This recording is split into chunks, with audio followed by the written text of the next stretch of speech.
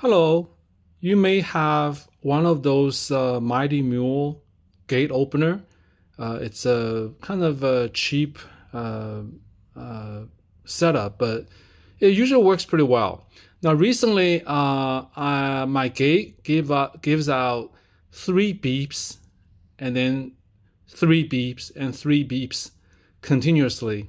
I'm doing all this research online, couldn't really figure out what's going on. Some they say it's a um, revolution counter board problem. Some other people say it may be a motor problem. Uh, so I called several times to Mighty Mule customer support, and this is the box I have. Um, the particular model is uh, 560 mm560, but uh, I figured the the 500 series uh, both actually are out of production. They're kind of similar. Uh, so this is the motherboard or main board.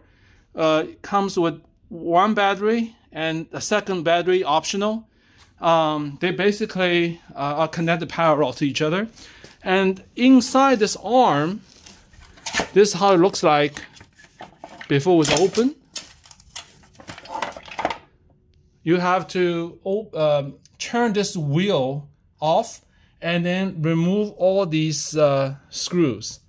Uh, and after you open it, you will see that the this is the main um, circuit uh, connection uh, from the arm to the motherboard, the main board, which will go here.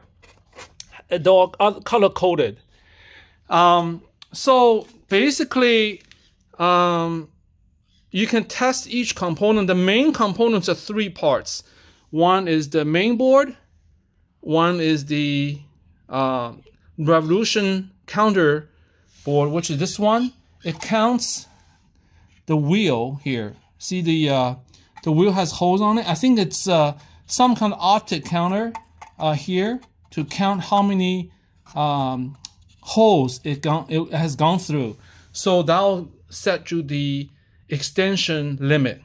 Uh, the retraction limit is basically the, the arm is fully retracted, but extension limit is decided by this counter. So this is the a counter board. Um, if this is not working, then of course the whole thing is not going to work. It'll give you three beeps. Um, this particular one has little click. So when this arm got retracted all the way, it will touch this click. And then that knows it, it has reached end. Now, sometimes you want to check if this click is touching or not. If it's not touching or if it's not making those clicking noise, you may want to just change the board or you can just bend the metal to make sure they're functioning. Um, so I test the motor. You can disconnect the motor from these um, wire nuts uh, if you apply 12 volts on it, it's a DC motor. So if you apply red to black, black to red, it will extend the arm. If you apply red to red and black to black with a 12 volt DC, the arm will retract. I tested the motor, it was fine. If you want to know how do you change the motor, it's actually not that difficult. Uh, you, there's a guy online, you can uh, uh, look into it and uh, there is a gear on the motor shaft. Uh, you actually can buy a ten dollar uh, instrument to remove the gear off the shaft instead of doing a heating method that's recommended by the guy from uh, YouTube. But mo my motor works fine. So the other problem is if you can check the uh, um, the um, um, uh, motherboard. there are way to test the motherboard. Um, I will post the uh, detailed information on the description. Basically, there, uh, if you have one arm, there's one way to test it. If you have two gates, you know, there's a master and slave. I think uh, I only have a master. So they actually send me instruction how to test the motherboard, uh, make sure it's functioning. I test the motherboard, it's fine. And I test the motor is fine. So the last uh, option is the, um, the last problem is of course the counter.